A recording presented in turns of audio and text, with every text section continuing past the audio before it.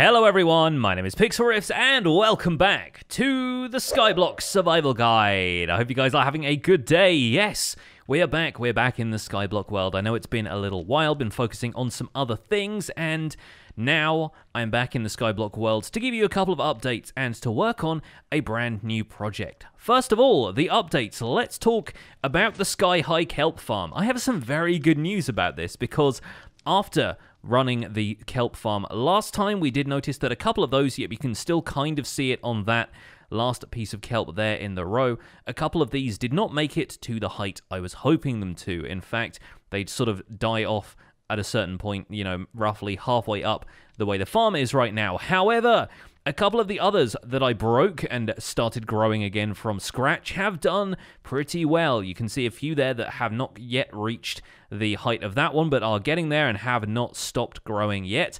And this one over here on the left-hand side, this is my absolute champion. This one is now growing up very, very tall to the point where I think it is actually going to be taller now than it is possible for kelp to grow naturally in the wild. And let's take a look at the age of this topmost block. 23. Okay, so it looks like 24, 25. That one will max out its age around there. But I think I might just pop in here and give it a quick tap.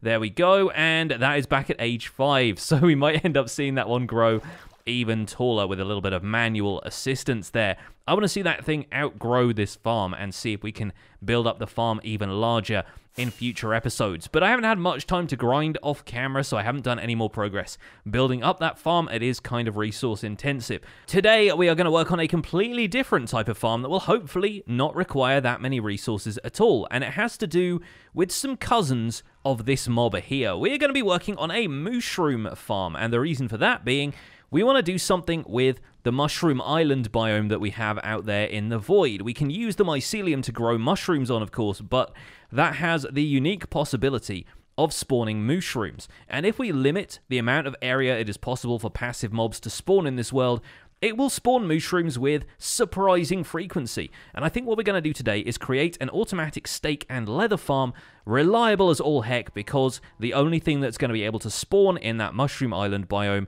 will be mooshrooms. So let's slay this cow First and foremost, grab what steak we can, because we may be needing some of that in the near future, and let's get right to it. Now, one of the best things about this farm, of course, is that it doesn't really require all that many resources. In fact, it's going to be pretty straightforward. All we need is a bunch of dirt, which we will be able to farm back at the central island thanks to the composters or just using the uh, coarse dirt from gravel and dirt trick.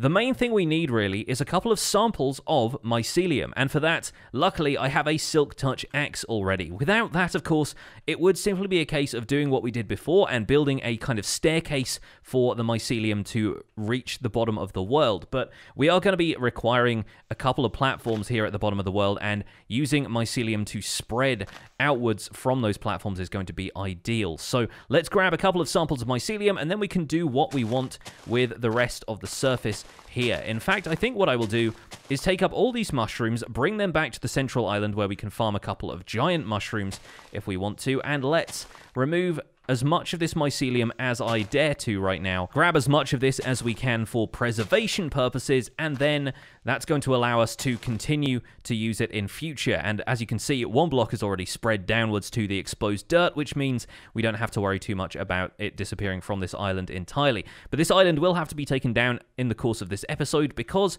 we need as much space as possible down below. And we need to track as we have done in previous biomes, track the outline of this mushroom fields biome we find ourselves in to discover what the maximum spawnable radius is going to be for our mushroom cows, because everything we do after that point hinges on that land. So to make this farm as efficient as possible, we of course want to make sure it is at the level of the void, or roughly Y1, so we're going to create a column of cobblestone heading all the way down here in much the same way as we have done in the rest of the series. A column of lava first, and then add a column of water afterwards that will convert all of the adjoining lava into cobblestone. Now, hopefully this shouldn't have any impact on the lava source, but we all know that all we need to do is destroy a wither to get another one of those, and that is easier than it sounds considering the methods we have used in the past. So hopefully we should just wait for this to head all the way down to void level, and we should be right as rain. Okay, I think that's all good. Now let's place in our bucket of water, and yes, there we go. Reliably, Old Faithful never lets us down. All right, let's pick up that bucket of lava and return it to the central island. No need to fight the Wither for us, and we'll just wait for that lava to despawn and take out the water as well. While we are at it, though, I did bring a bunch of cobblestone with me for a reason. I can swim my way down here, like, just get a little bit out of the water stream there so we can place a block right down here at the bottom of the world where the void starts. Let's put one there, and then let's swim our way back up. So we know we have a platform down here that we can start on, and I should hopefully be able to land on that with my elytra and my fireworks, so I don't need to worry too much about swimming back down here. We can take the water out and then just land down there in a second. In the meantime, you may be wondering what we're planning on doing with this, which was my previous passive mob spawning platform, and as you can see, it has done a pretty good job of doing that. There are even a couple of animals that have made their way into the pen with the villagers, which is kind of great. Don't know if any of those in there are shepherds, but the presence of sheep certainly isn't a problem for them.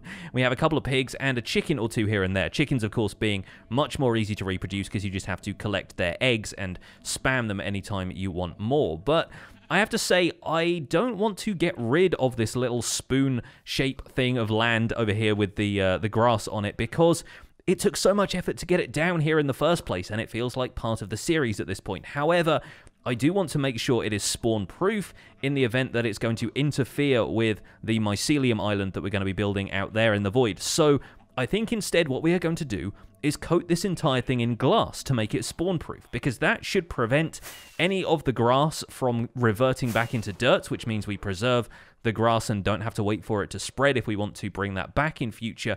But this will still ultimately make it spawn proof. And we can still leave the torches and stuff on here as well so it has adequate light. And you could do something like this with slabs as well, but I'm fairly certain slabs would block light to the grass, reverting it back into dirt. And that's not what we want. Covering the grass here with glass, which is something I've had to just do multiple takes of because I can't say that. I get very tongue-tied when I say it. Covering the grass here with glass will allow it to remain grass, which is ideal, really. And it also allows us to put torches on the top here if we want to. Not that we need it for spawning purposes or anything. Nothing should be able to spawn on the glass anyway, but it will mean that the whole thing stays lit up nicely.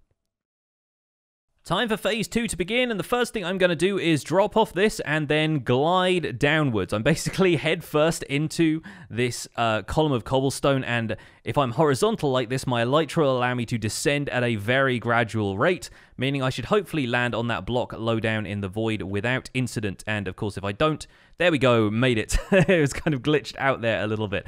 But if I didn't, I of course had my uh, rockets on my hotbar for a moment's notice. Now let's trace out the outline of this Mushroom Fields Island. And the best part about this is we don't even need to worry about lighting because there is no mob spawning in Mushroom Fields, especially if we're down below the level of sea level. Phantoms won't even spawn here, which is the biggest problem with mobs on Mushroom Islands in general. So we've got all the mycelium here. Let's expand this outwards a little bit and let's see if we can trace the outline of this Mushroom Fields biome in its entirety using dirt blocks. And that is that. The mycelium is spreading and there is really not a huge amount of area to work with here, but it will be enough for the farm I have in mind. So what we're going to do is head back up to the top of the world there and take down anything that is over the top of this island because I think much like the passive mob spawning platform we had over there, any blocks that are blocking total sky access to any of these blocks will mean they are not spawnable blocks for passive mobs, which includes the mooshrooms that we plan on cultivating here. So I'm going to head up to the top of the world here,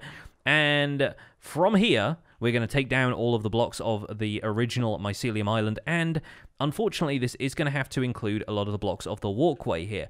But like with the grass over there, I'm fairly certain that placing glass blocks above this will not block sky access. So it should be possible to just get all of these blocks covered with something that is a little bit more transparent like glass and we shouldn't have any problems with the cows spawning down there. If we do, of course, we can just adjust the way this is to uh, have the walkways kind of pass around everything. And we might end up doing this with a, um, a nether portal or something anyway, so not going to be a huge problem. And eventually we might end up putting together a more comprehensive nether portal network for this, so that's going to be less of a problem. Now, hopefully I should be able to... Yep, there we go. A little bit dicey there, but should be able to take down this column of cobblestone that we put here in the first place. And with the last few blocks gone away, there we go. We have ourselves a completely clear, apart from, I guess, that T-junction in the sky, but that's only a few blocks there, a completely clear Mushroom Island spawn, which should hopefully in the fullness of time, start to produce some mushroom cows for us. There we go, that's that section. All of the blocks that were covering this mushroom island are now replaced with glass, and hopefully we should start to see some mushroom cows spawning down there. I might have to see if we can get rid of some of the passive mobs that have been around here as well. Much as I want to keep them, I think with them being loaded in the render distance, it is taking up the passive mob cap a little bit with the chickens and the sheep and everything being here. And I don't need to worry too much about gathering wool in large numbers, and if we wanted to, we could always transport some sheep over to the nether and start a wool farm there. And that would mean it would only load in when the nether was loaded in. We could also do the same with mob spawns like the mushroom cows over there. And that may end up being one of the ways we deal with the large quantities of them that are going to spawn here. But in the meantime, I think what we're going to do is just take out the sheep the chickens and the pigs that are down here, meaning that the passive mob cap will be a little bit clearer. I think I also have a couple of chickens wandering around this island from eggs that I have carelessly thrown around here and there. And once we've done that, we should be able to clear that out and hopefully we'll start to see some mushroom cows spawning out there on the Mycelium Island. That means some careful removal of the sheep around here without harming the villagers in any way. Don't want to end up accidentally attacking them with the sweep attack on this sword, but it looks like those are taken care of. Now we just need to take out this pig. This pig over here will probably go into the void there. That sheep and the chickens will probably just get shot quickly with some arrows. One, and two. Oh, overshot that one a little bit. There we go. All right, now that should be the passive mob cap more or less clear, give or take anything that's up there on that island, and hopefully we should start to see the mushroom cows spawning over here when we get the chance. Yes, there they are! No sooner had I removed those other animals from the mob cap than the mooshrooms made their appearance. Great stuff. Now the question remains, how exactly are we going to collect these mushroom cows in an area where they can all die easily. Now, there are a couple of ways we can do this, but having built this entire island at y equals 1, there isn't really an easy way to create a collection system. Much like in the husk farm over there and the slime farm over there, we would need to have hoppers at the level of the void, which makes it kind of difficult to transport the cows on top of them and have them die easily.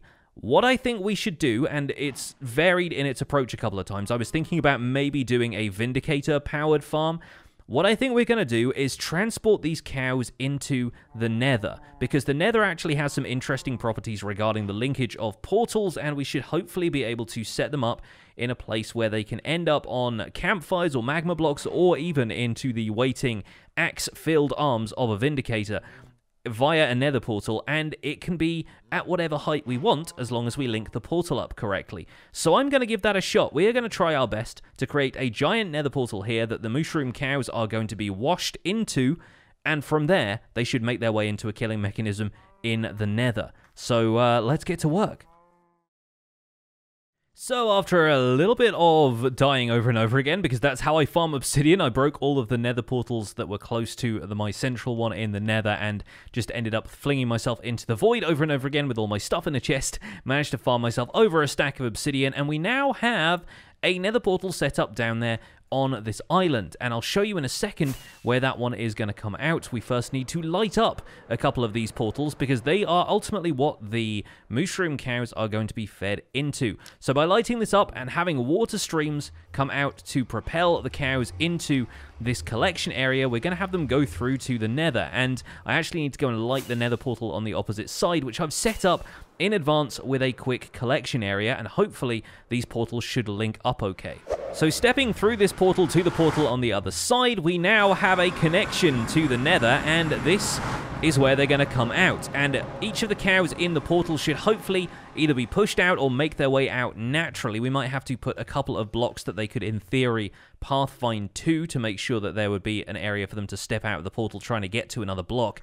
And we're going to cover this area of hoppers in campfires, and that should allow the mushroom cows to burn up. They may even be cooked by taking fire damage from the campfires, and hopefully that will lead to a bunch of steak and a bunch of leather ending up in this chest. Now, the problem with this, of course, is we need to have a way of propelling them into the portal on the opposite side, which is just going to be a set of water streams on a timer, and we will need to load the nether in for them all to take damage and be cooked. So anytime we load in the nether, we're going to find ourselves with a ton of mooshrooms over here getting roasted over an open fire. And hopefully that should be pretty much everything we need to do, aside from, of course, installing the water streams and making sure the cows cannot escape. So, halfway through assembling the redstone components, which is basically just going to be a bunch of dispensers hooked up to a timer, dispensing water streams that will wash the cows towards the portal, I went to get myself some more fireworks, and that involved just grabbing a bunch of paper from the sugarcane farm. We're going to make a bunch of fireworks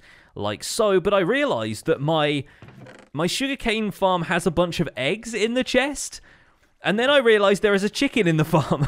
I don't know how it's got in there, and that may be where it ended up after I was talking about the chicken earlier that was just wandering around this island. But a chicken has made its way into my sugarcane farm, and basically every time this collects, chances are there is an egg inside of there. And we have three stacks of eggs along with all of these sugarcane. That that is that is hilarious. I have no idea the chicken was in there, and it was the most bizarre moment to just open this chest and go, wait a minute, has my sugarcane farm been producing eggs this entire time?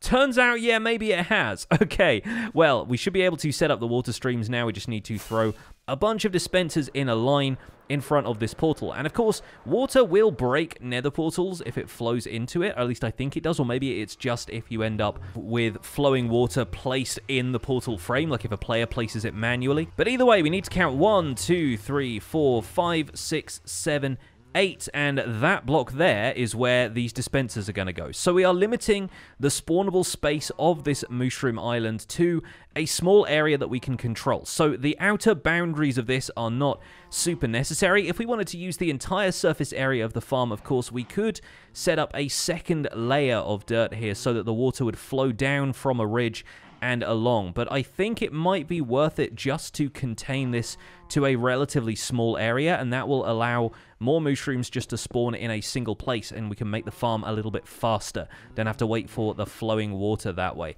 But everything should now be in position there, and we can start spawn-proofing the rest of this area of the farm, including, I guess, making sure that the mooshrooms who spawn in here can't escape by placing another row of slabs like so. And there you go, that guy there can't walk out at all. As with the grass area over there, I am covering the rest of this island in glass, which is gonna look a little bit strange, I will admit, but it's kind of nice to have the outline of the Mushroom Island visible here in case we want to do anything different with this later. And hopefully, hopefully the dispenser water streams will push any zombie pigmen who wander out of the portal back into the portal as well where they may or may not be roasted on the opposite side. Who knows? I don't think the zombie pigmen are going to take damage from the campfires, but hopefully they should just despawn when we leave the nether or move around in the nether as part of that uh, hostile mob cap anyway. The idea here is that we're flushing out this platform somewhat frequently so that any of the mooshrooms that go through the portal are immediately removed from the passive mob cap for this area, and it should be quite a straightforward demonstration for me to just fly up into the air for a second, and yep, there we go, we get one mushroom cow spawning down there automatically. Now I wonder if maybe leaving the rest of this mycelium around here, it's still checking it to see if a mooshroom could spawn there. So maybe having this mycelium available on this platform is perhaps not the best idea after all, and maybe it would be better just to cover all of the dirt in slabs for the time being and have it all revert back into dirt, because anything that is not a mycelium block on this island should not be spawnable for mushroom cows. I'm pretty sure they can only spawn on mycelium within a mushroom fields biome. Or maybe it's just that the game hasn't made multiple spawning attempts yet, but either way, that mooshroom would end up getting washed into the nether portal by the water streams when they activate, and then that would clear out the mob cap for this area, allowing more mooshrooms to spawn, and once we go through to the nether, they should all be there waiting to get roasted. Yep, as we step through to the opposite side, you can see that the mooshrooms have made it through this portal, but unfortunately it doesn't seem like they want to step out onto the campfires. That is most likely because they cannot detect any solid blocks around around here that they could attempt to pathfind to. So it looks like we're probably going to have to go with plan B and create a large area of blocks somewhere nearby. Now, that should be easy enough. It should be something that we can do just with a large area of cobblestone, or, you know, we could make it grass or dirt or something like that that they might be more likely to pathfind to. But I have a feeling just any solid block will do. And then we just have to make sure it is not spawnable. So we should be able to do something with slabs or just a large area of blocks that they will try and pathfind to and make sure it is spawn proofed against any zombie pigmen because we don't really want them wandering freely around the nether. Yeah, and no sooner have I finished placing in a bunch of blocks over here, but one of the mooshrooms has stepped out of the portal onto the campfires. So here's hoping that if we create a large enough area of blocks here, the other mooshrooms should end up following suit. And as you can see, already got a fair amount of beef and leather in this chest, so it looks like the system may be working. I have just seen something I did not expect to see, and it's a little bit of a concern. I think I may have just seen a slime spawn here. I'm not entirely certain I did. Let's find out, I guess. So here is our standard Etho hopper clock. That's the clock we're going to be taking a redstone signal from, and every time that clock shifts, it's going to power all of these dispensers at once thanks to a redstone line we're going to put in behind here. Now, of course, these blocks would not be spawnable anyway with the redstone dust on them, but it's going to be the case that with this being a mushroom island, nothing should be able to spawn on them anyway, so we won't have anything else here taking up either the passive or hopefully the hostile mob cap. Now, we just need to fill these dispensers with water, and the water streams should carry any mobs, yes, any mobs, looking at you, Mr. Zombie Pigman, into the nether portal, and hopefully then we will start to see these things come together. So I've disabled the hopper clock for a second just so we can put all of the buckets in here without us having to worry about the dispensers firing and the water buckets coming out at uneven times. But now when we click that redstone dust into place, we should start to see this shift and all of the water streams propel the mooshroom into the portal, giving it ample time to wash all of the mobs in there. The hopper clock shifts one more time, 32 items in here, and we can probably dial in the timings a little bit because that's plenty of time then we should give them a little bit of adequate time to spawn here, which will happen if I'm away from the farm. That should be long enough. Once again, I can dial the time in a little bit and then the dispenser should activate again, and all of the water streams will start flowing once more. So, let me stand up here on the little glass bridge, which also doubles as an observation platform for the farm now, and if we build an observation platform at a slightly safer height for phantom spawns, we could, in theory, AFK here indefinitely. But let's see if we get any mushroom cows spawning in the meantime. Looks like maybe we are not. So that's making me think maybe we should have fewer mycelium blocks around the perimeter of the farm because they may still be trying to spawn mooshrooms and failing. Either that or that chicken inside my sugarcane farm is still taking up the passive mob cap somehow. But yeah, we should be seeing mooshrooms spawning on this platform, which is definitely making me think we should probably just slab over the rest of the island, converting it all back into dirt where it won't try and spawn mooshrooms. That's kind of a shame, but I guess that's the way these things go sometimes. There we go, we're starting to see some spawns now, and I have also lengthened the amount of time it takes for the dispensers to come on. We could work on potentially doing a two-stage clock for this so the dispenser spends less time dispensing water and more time relaxing and letting the mooshrooms spawn but I have a feeling we can wait around for a little while longer and see how many mooshrooms end up spawning inside the system. I'm going to stand here for a little while, maybe with a block or two over my head to make sure phantoms don't spawn, and then we'll head over to the nether and we'll see what exactly gets caught in our little net.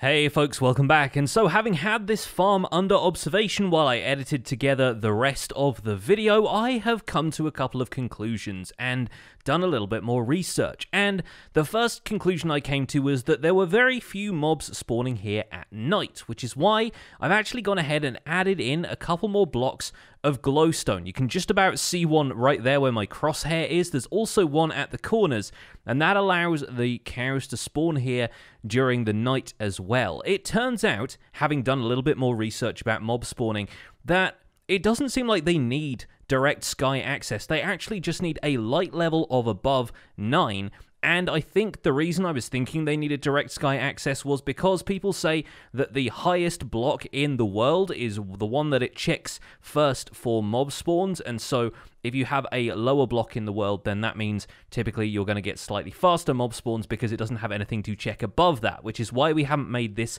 a layered platform farm to begin with. But it is entirely possible that you could set up layer upon layer of this farm if you wanted a bunch of mooshrooms spawning in the same island space.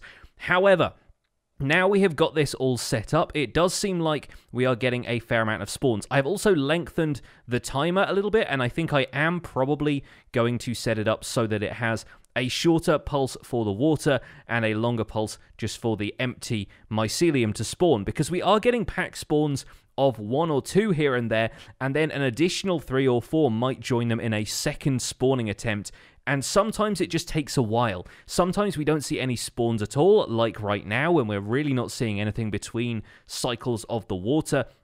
But then occasionally we would get like five or six cows all going through at once. So it's entirely possible that we might get a couple of spawn cycles where it's just going to be luck of the draw whether we get anything or not, but realistically, we should be seeing a decent turnover for this farm. There we go, we got a series of spawns right there. We got four cows all at once. Those are going to get washed into the portal in just a second. We'll see if any more spawn in the meantime. So if I wanted to set up multiple platforms for this farm, what we could do is just increase the height of the nether portal and have them all wash into the portal because they don't drop or anything once they go into the portal frame. They basically just disappear as soon as they make contact with those portal blocks.